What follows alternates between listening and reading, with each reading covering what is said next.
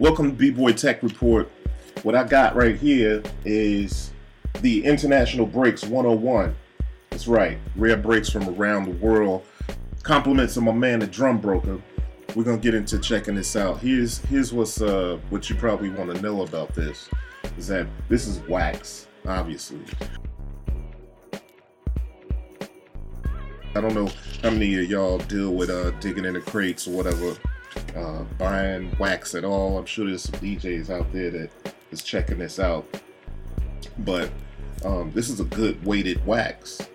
It's not that flimsy stuff. Uh, as a matter of fact, look, this is a Sly and the Family Stone record, and it's pretty flimsy. That's wax that you go digging for. Uh, my people over at uh, Hip Hop Drum Samples put together a really nice piece of wax. It's it's solid. This is it's a good weight. So they didn't skimp. This is quality.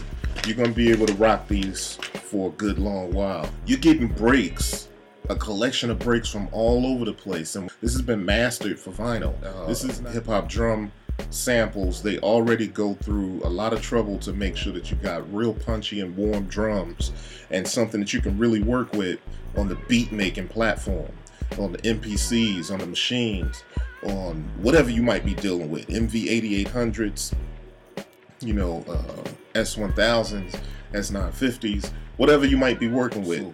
It's almost like you're getting another level of processing that you usually wouldn't get. The fact that they've been put on wax for you so you can get that vinyl flavor when you sample. Um, that's priceless if you ask me. But let's listen to some breaks.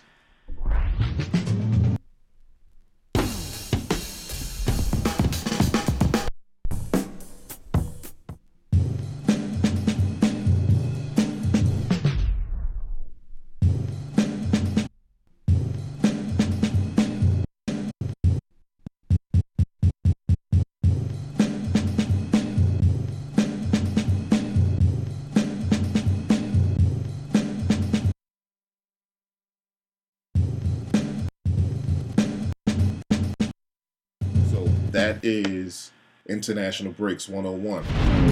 B-Boy Tech Report.